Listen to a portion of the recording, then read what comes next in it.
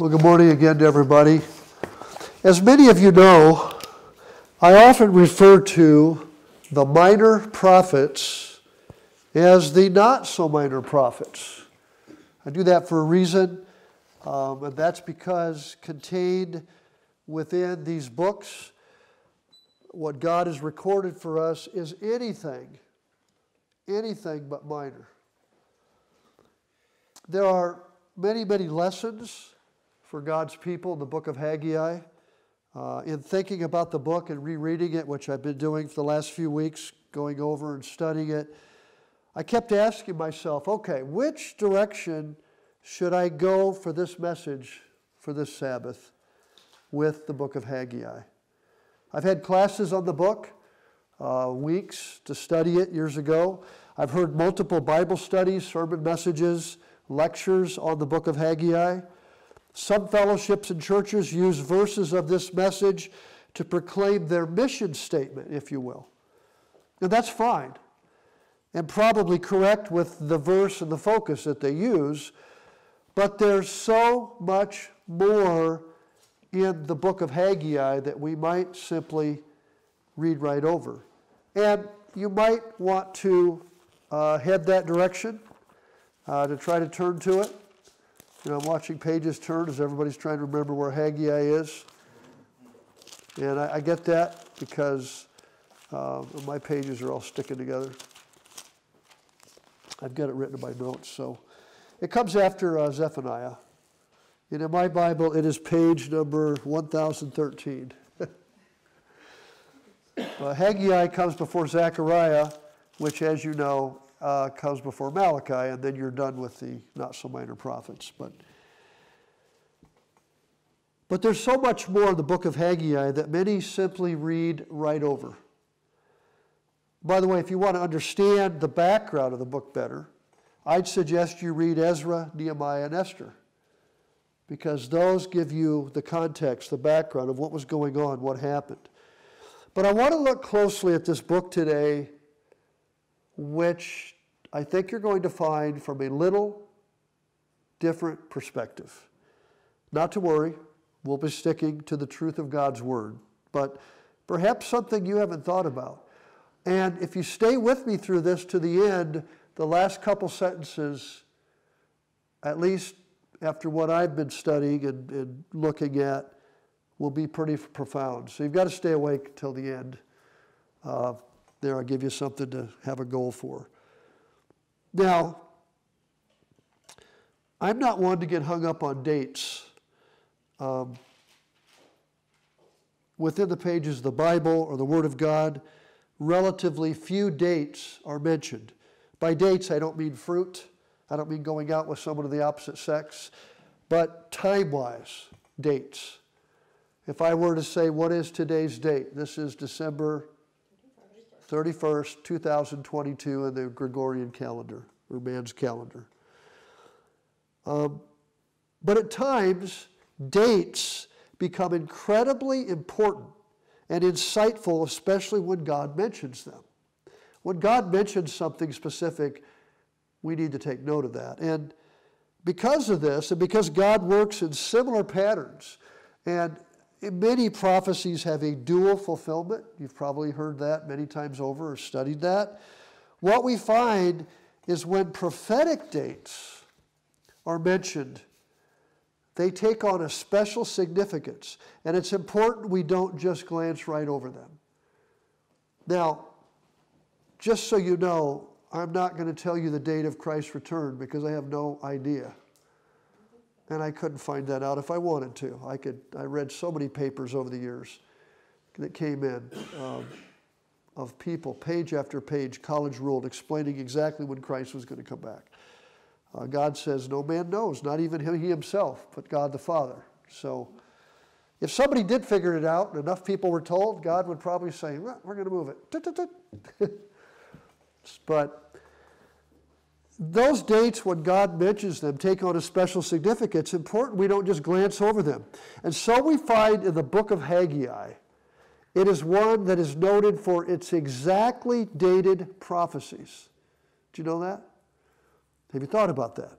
Specifically, its last two prophecies, and stay with me here, are given on and revolve around the 24th day of the ninth month, a day known simply as Kislev, or Chislev, if pending. Kislev 24. Now, why, you might ask, is that important? Oh, no, he's gone Jewish on us, right? No, not at all. But you might ask, why is that date, Kislev 24, important? I want to talk about that today because when we get to the end of the sermon and I wrap this together, you're going to say, wow, just like I did. Kislev falls during the month of November and December on the Gregorian calendar near the beginning of winter. Right now, here in the northern hemisphere, we are in winter, if you will. It may not feel like it today here in lower Alabama, but last week it did. No question for us here. And most of the nation last week, a good part of the nation, knew exactly it was winter. If you doubted that, you can look at what we just had. Uh, we were cold here. Uh, the neighbors' plants, whatever those are called right over there, are all dead. the grass went from green and growing to brownish and not so growing. Uh, we covered a lot of things, and we'll see. Some of them lost some things already. I went and trimmed that off.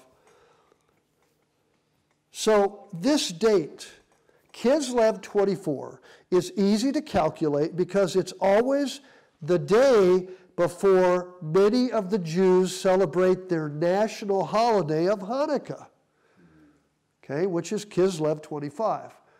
You're like, you're not going to go off on Hanukkah. No, I'm not. I'm just saying that's how you know it's always the day before many of the Jews celebrate their national holiday of Hanukkah.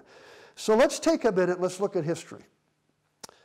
I know Joe Jacoby likes history, history, and he will probably say, well, you could have added this and you could have added that. A lot of people like history. I like history.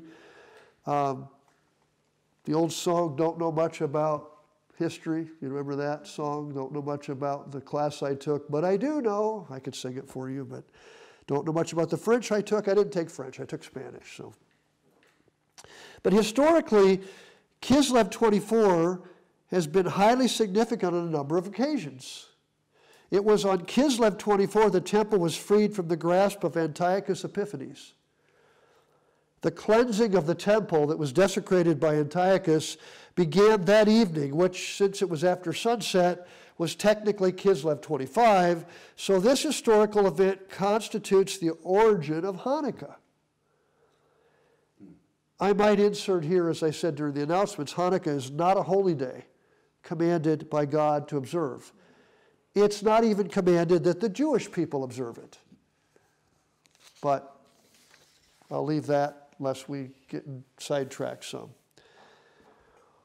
Uh, and I mentioned there's an article on the CGM website. Uh, it's under the drop down menu library slash resources, Bible questions and answers, where we go into more details on Hanukkah.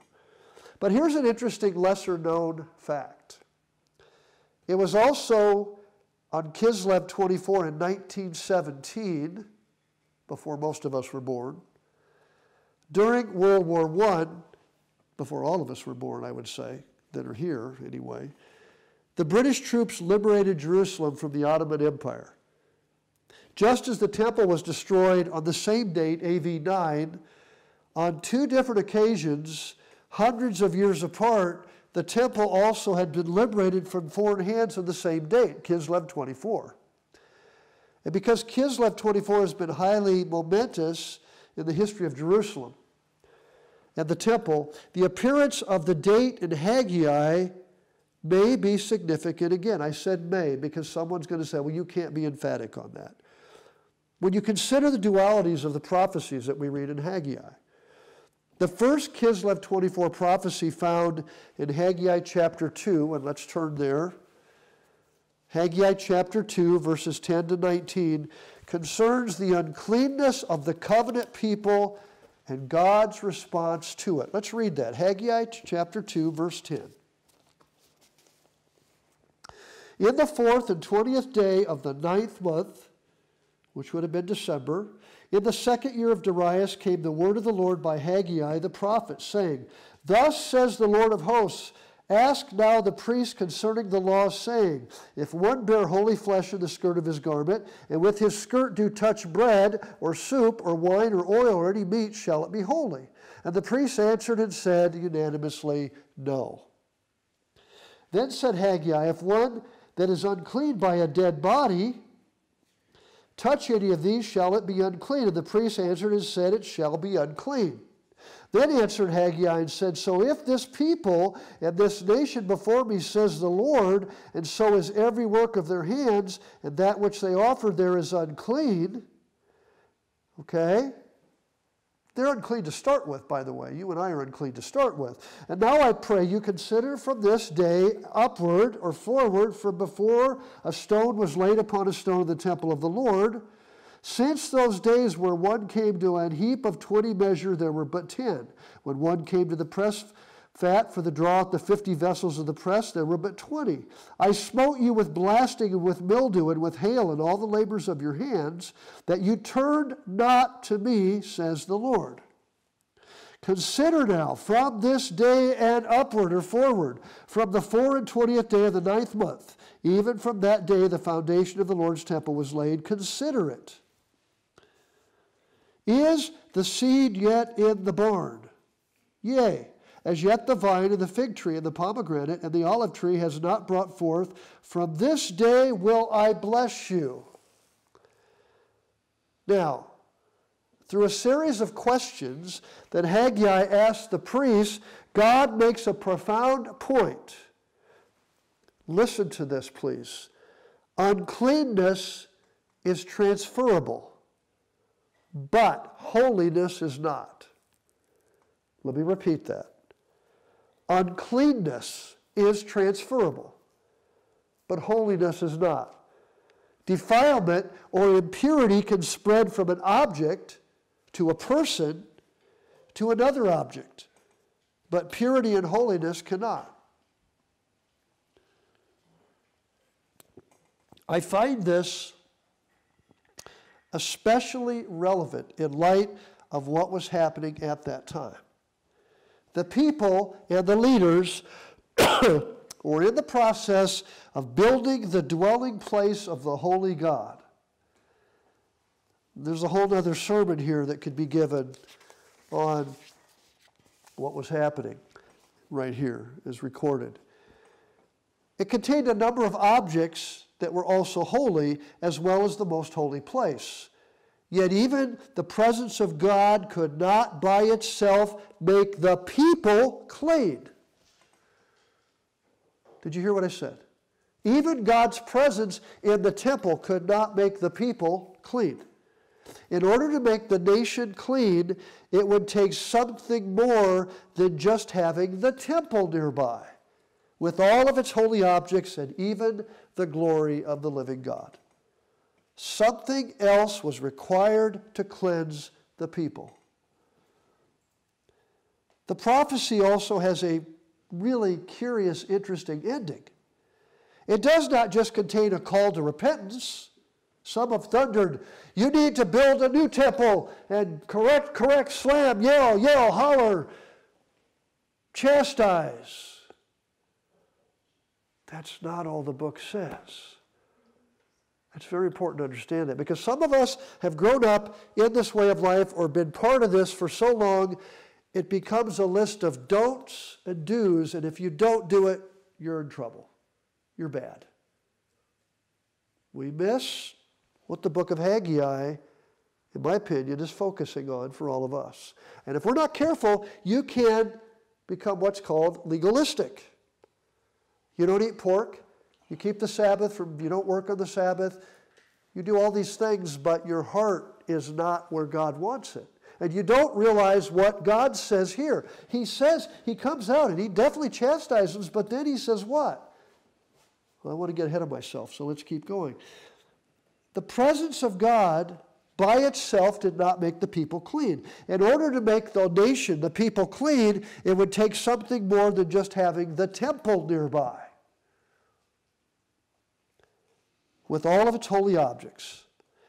This prophecy's ending, it says it does not just contain a call to repentance, okay, it does have that in there by implication strongly. But here's where it gets interesting God says, His people are unclean. Do you think I could say that now? Yes. Yeah? How'd you do this week? How'd you do this month? How'd you do this year? You got the old graph that goes like this, right? the Christian life. And his people are unclean. The presence of something holy cannot make them clean, and that their hearts were not turned to him. You've heard the saying, you talk the talk, but you don't or you know walk the walk. You talk about it.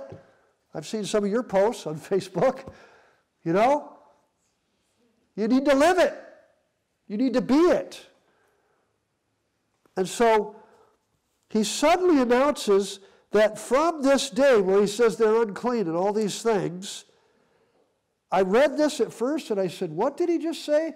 Chapter or verse 19, you have not brought forth, but from this day I will bless you. Wait a minute. He's not blessing them for disobeying him. Don't think I said that for a moment. What is this? Yes, he said he would bless. In this first prophecy, God does not specific, specify exactly what the blessing will be. In this first prophecy, he just says, I will bless you. Here's a hint. Let's go back to verse 19. Here's a hint through, though, in verse 19. Is the seed still in the barn? As yet, the vine, the fig tree, the pomegranate, and the olive trees have not yielded fruit, but from this day I will bless you. What does that mean? What does that mean? This hint will become much clearer after we examine the next prophecy. Because the second Kislev 24 prophecy is recorded in Haggai chapter 2, right after this, verse 20 to 23. Let's read this too. He says, From this day will I bless you. Here we now come to, because there's four parts in this book of Haggai. Now here's the second prophecy. Again, the word of the Lord came into Haggai on the fourth and twentieth day of this month, saying, Speak to Zerubbabel, governor of Judah, saying, I will shake the heavens and the earth. I will overthrow the throne of kingdoms. I will destroy the strength of kingdoms of the heathen. I will overthrow the chariots, those that ride in them, the horses, the riders shall come down, every one by the sword of his brother. In that day, says the Lord of hosts, I will make you, O Zerubbabel, my servant, the son of Shealtiel, says the Lord, and I will make you a signet, for I have chosen thee, says the Lord of hosts. Okay? I will make of you a signet. This spells out a readily identifiable blessing, does it not? righteous leadership. Verse 23 singles out Zerubbabel. Now, interesting here, my seal of approval, a signet. And I want to talk about this because this we can read right over and miss it. There may be a number of lesser fulfillments of this. It's important, though, to recognize the ultimate fulfillment of Zerubbabel's role is what? Jesus the Christ. That's the ultimate fulfillment. Zerubbabel was the governor of Judah after the Babylonian captivity. And let's go to Matthew chapter 1 because there's an interesting, uh, will help us here. Matthew chapter 1, verse 12 and 13.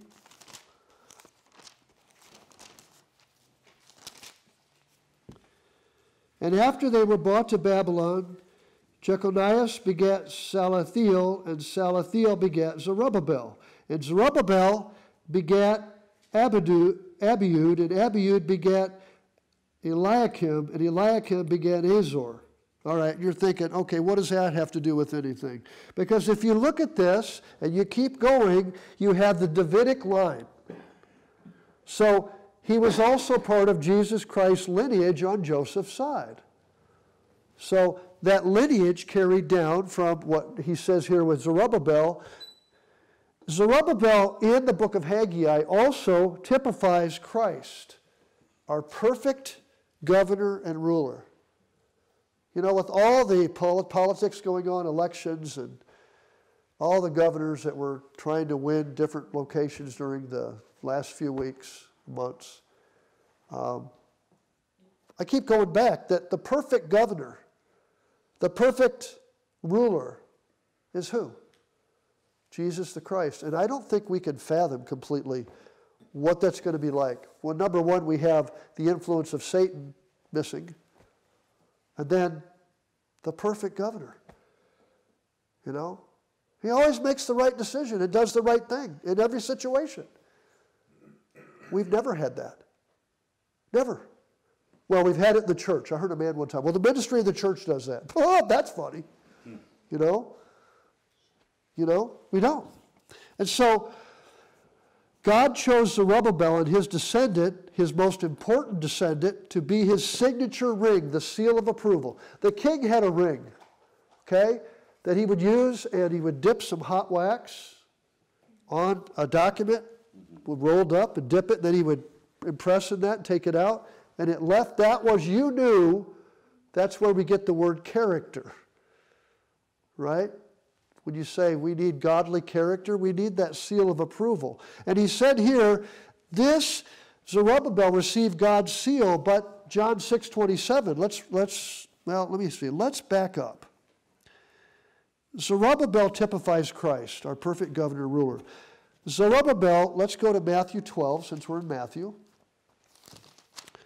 Zerubbabel is called God's servant. But let's see what Matthew 12, 18 says. We've got several scriptures here. Matthew 12 and verse 18.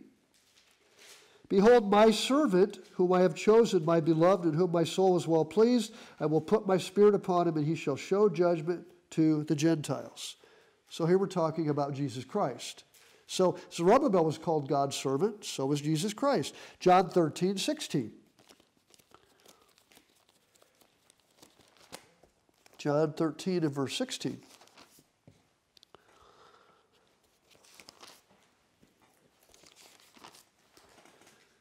Truly, truly, I say unto you, the servant is not greater than his Lord, neither he that is sent greater than he that sent him. So, here again, referring to God's servant. Acts chapter 3, verse 13. Let's look at that. Acts 3 13.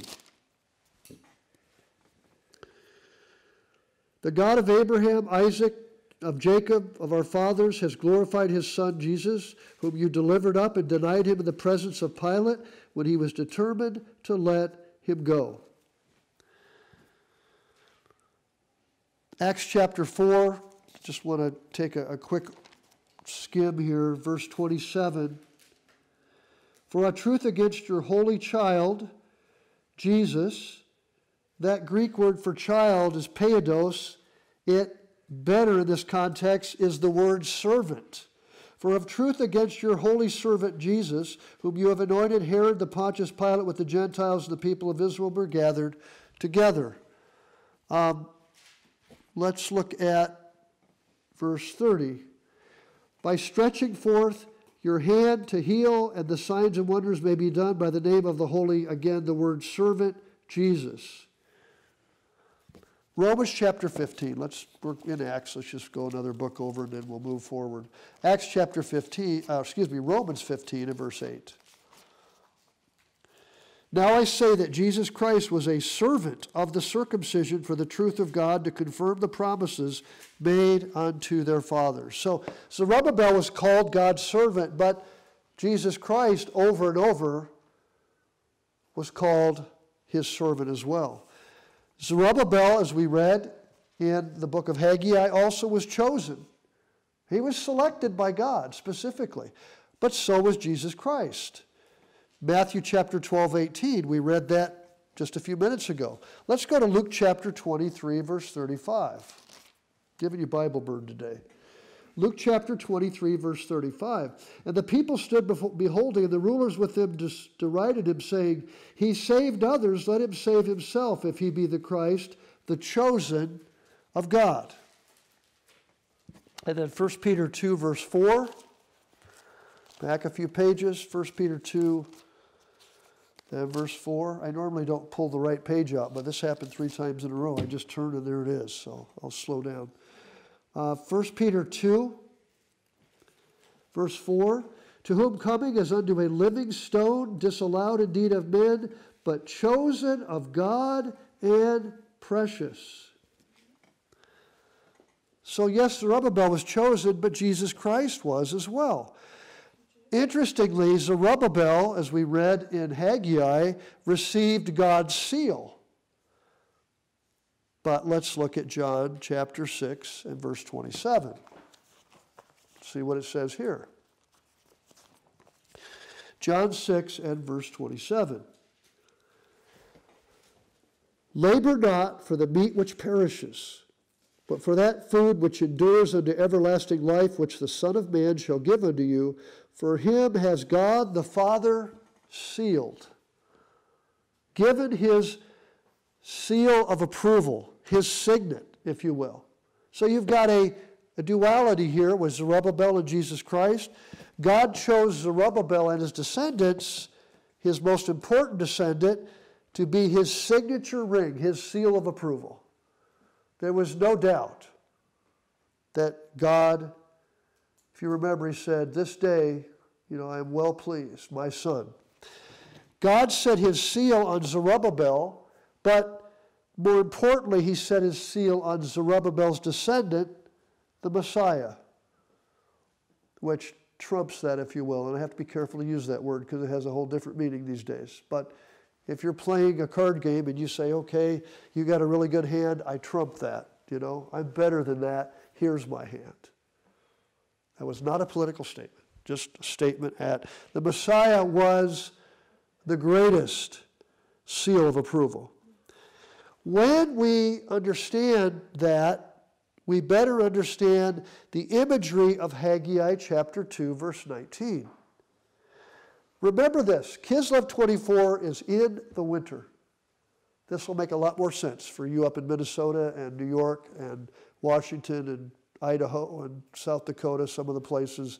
This will make more sense because it's still colder there. I know a good friend of mine is traveling to Rapid City today or yesterday, or this morning, hoping to get there, do what he has to do, and get home the five and a half, six hours uh, before the storms hit.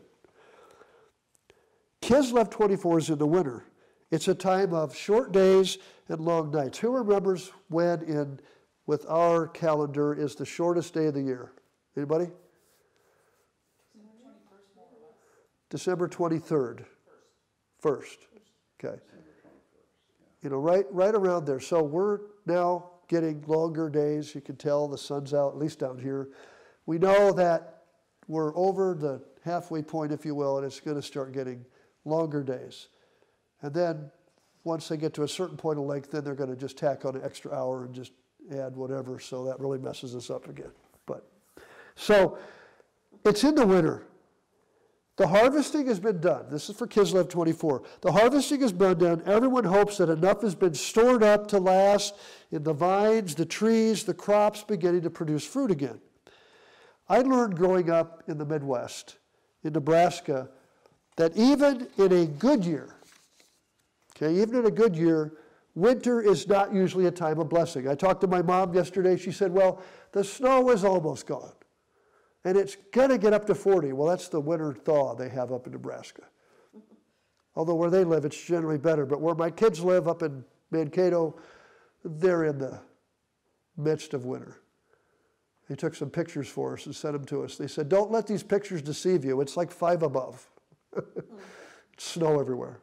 So it's winter. And winter's not usually a time of blessing. I'm sorry, I lived in it multiple times. I, the coldest I've ever been, we called it Winterpeg, was in Winnipeg, Manitoba, served up there, and that's just cold. Remember the one time we spent all day driving around seeing ice sculptures, trying to keep the windshield to, from freezing on the inside, and looking at ice sculptures, and I said, how long have these been up here? Oh, about five months, four months.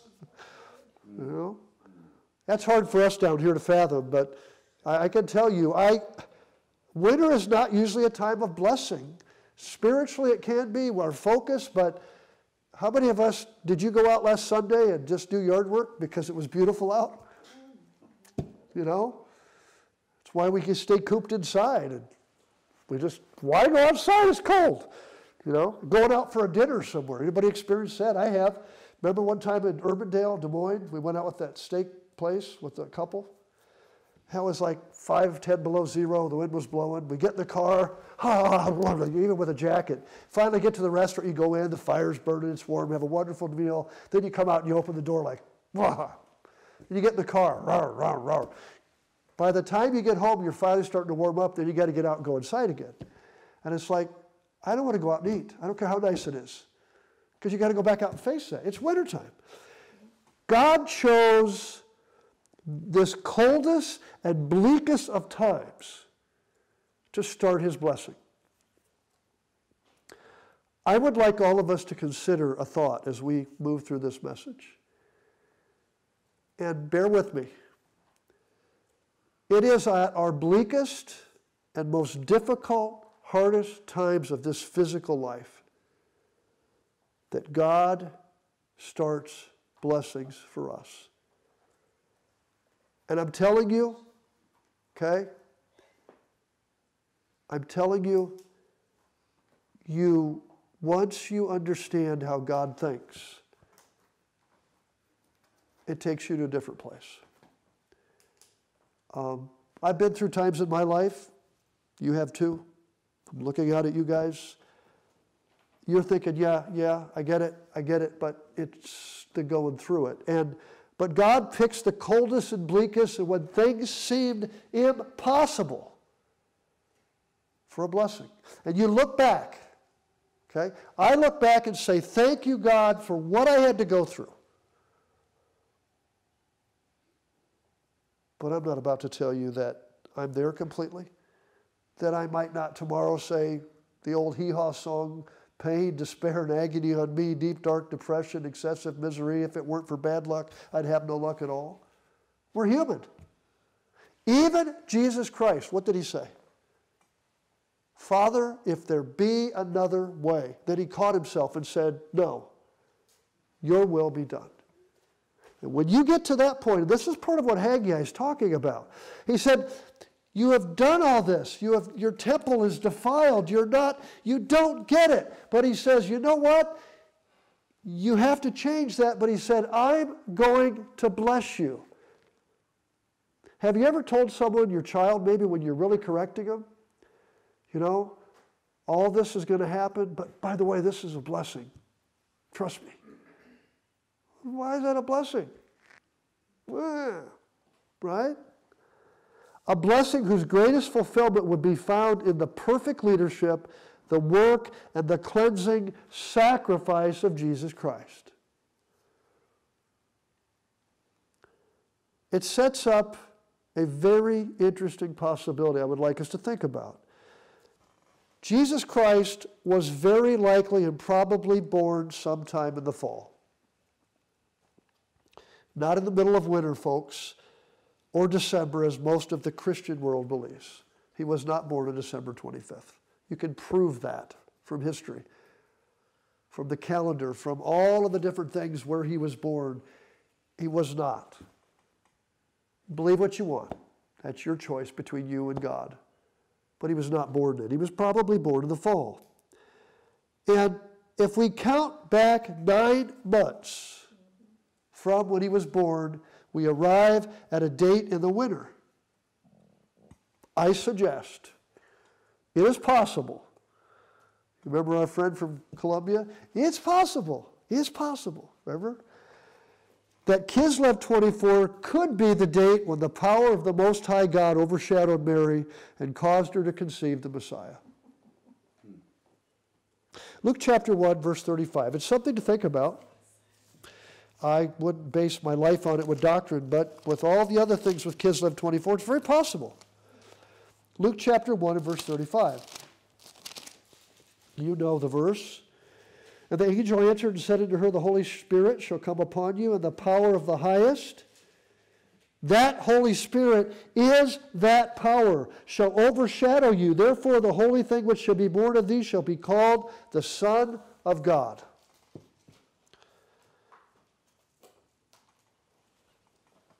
A play on words in verse 19 of Haggai seems to support this. The question is asked Is the seed still in the barn? The word translated as seed is elsewhere translated in God's word as child or posterity. The name Zerubbabel means seed of Babylon or planted in Babylon. More importantly, when God told Abraham, In your seed all the nations of the earth shall be blessed. Let's read those. Genesis 22 and verse 18. I told you you probably hadn't thought about this before. If you have, I'd be surprised. Genesis chapter 22 and verse 18. And in your seed shall all the nations of the earth be blessed because you have obeyed my voice. And then Genesis 28 and verse 14. And your seed shall be as the dust of the earth, and shall spread abroad to the west, to the east, to the north, and to the south. And in you and in your seed shall all the families of the earth be blessed. So the seed that God was referring to was what? Jesus Christ, 42 generations later. Haggai chapter 2, verse 19, I believe is describing a time when the seeds from the previous harvest, they're not in the barn because they have been planted, but it is before any fruit was produced. It could also then describe a child who has been conceived but not yet born. And through that child, the blessing of cleansing and the leadership would come for Judah, Israel, the church, and eventually what? The entire world.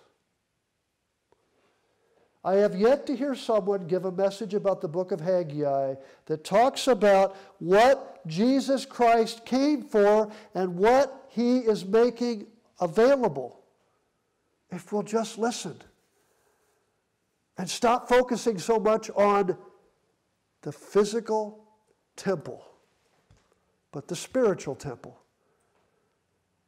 Because Paul said, We are the temple of the living God. If Jesus Christ were conceived on this date, it would be a remarkable fitting application of what God says when He says in there, From this day I will bless. I'm going to end a little bit early today.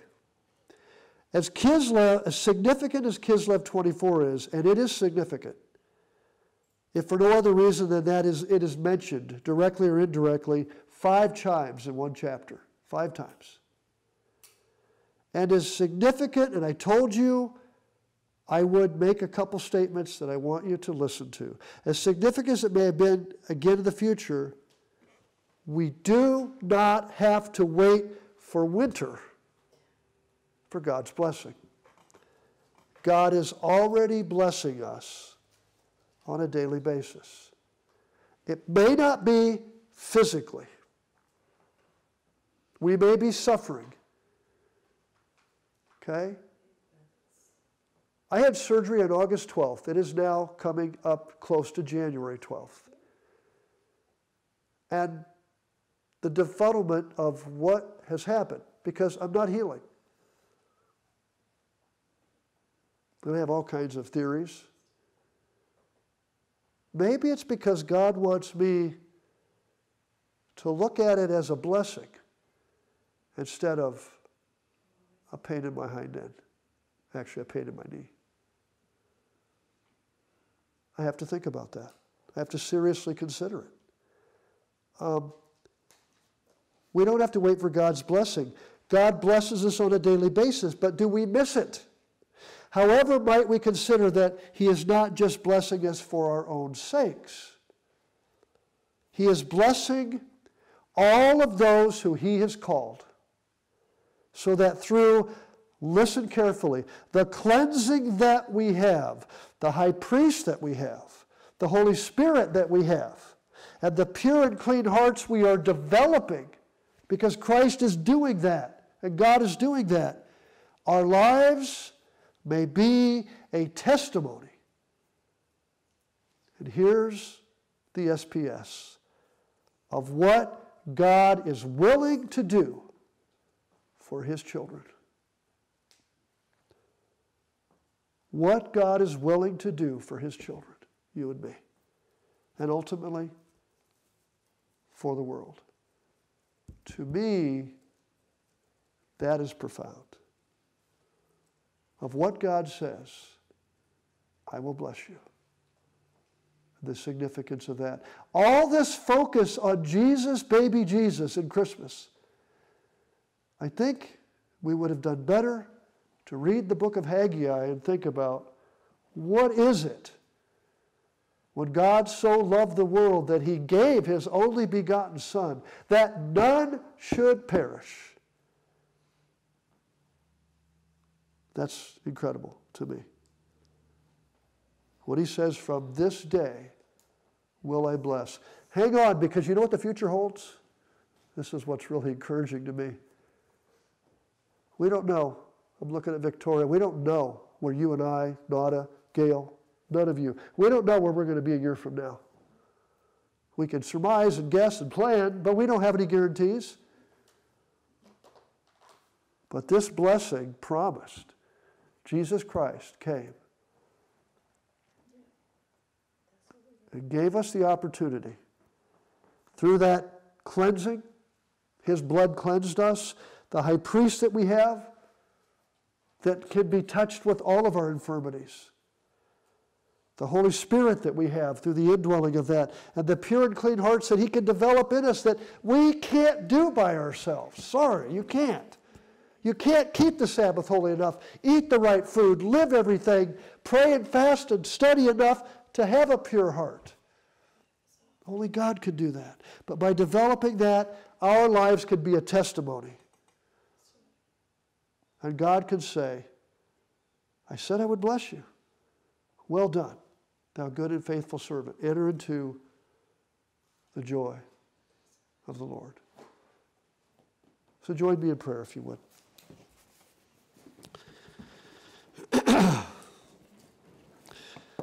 Our Father in heaven, God, we come before you. We thank you, Father. We don't understand everything, of course, but our limited, puny human minds.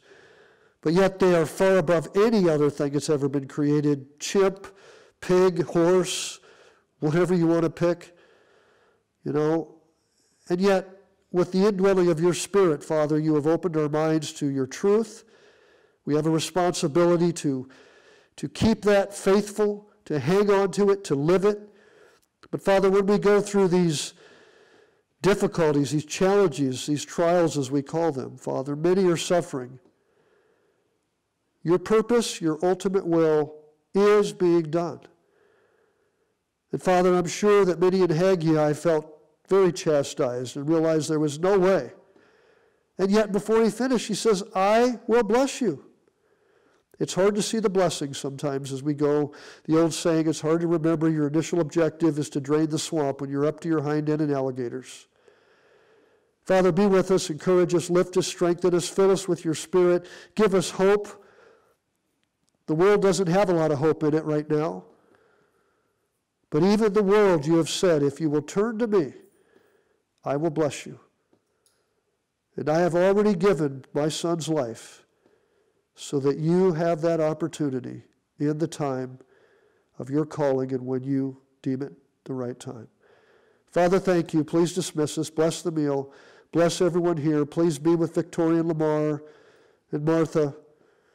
To the many others, Father, that need you, be with Harry and Lorna as they recover from COVID down in Texas. Be with your children. Father, help them to understand and realize that this relationship with you transcends everything else, no matter how difficult it can be. We ask for your dismissal. We love you and thank you again. Go with us, and we praise you in Jesus Christ's name. Amen.